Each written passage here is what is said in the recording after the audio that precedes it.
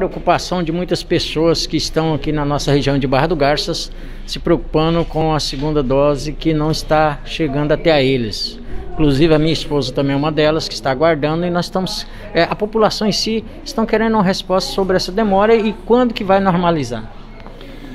É, bom dia a todos, né? Bom dia JP. É, na realidade, quando se fala em relação à AstraZeneca, realmente no estado de Mato Grosso todinho está faltando ela.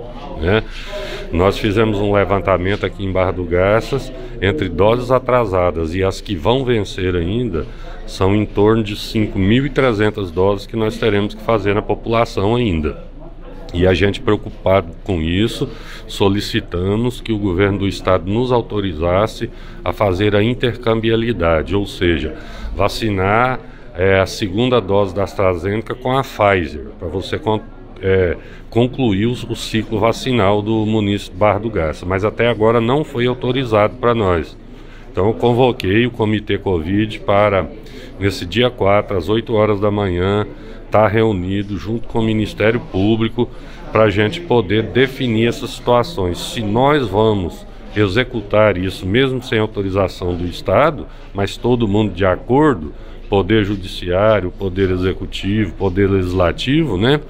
Ou se a gente aguarda essa situação.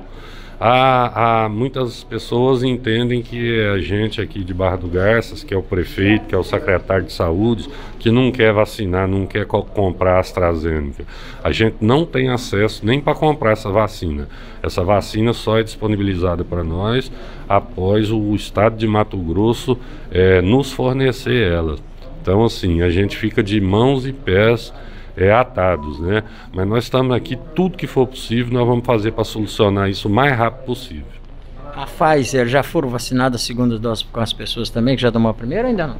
Já, a Pfizer não está faltando, a Coronavac não está faltando, né? Inclusive quem tomou é, é, a primeira dose da Pfizer já está na época de tomar, a segunda está tomando normalmente sem problema nenhum. O único problema nosso é a AstraZeneca que o governo do estado não está conseguindo disponibilizar para nós, né?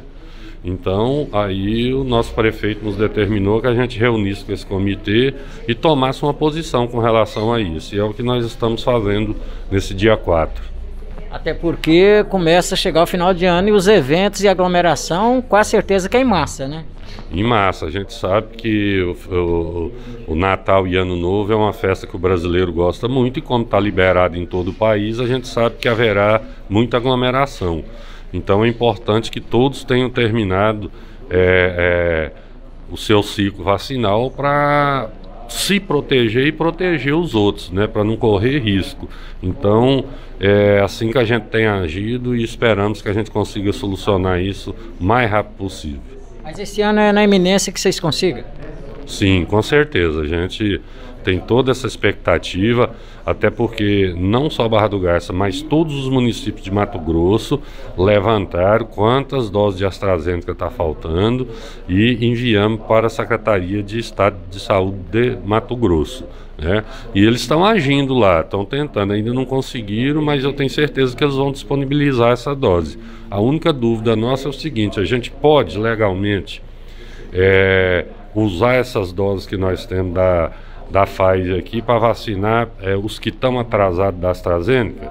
É isso que nós iremos definir e com certeza optaremos para o, melhor para a população do Barra do Gás. Sobre a questão da terceira dose, como é que está o trabalho de vocês aqui da saúde? Segue normalmente também, 60 anos acima, com no mínimo um intervalo de seis meses que tomou a segunda dose, né? Está vacinando e como essa dose é recomendada fazer com a Pfizer, não tem faltado, todo mundo que quer tem se vacinado sem problema nenhum.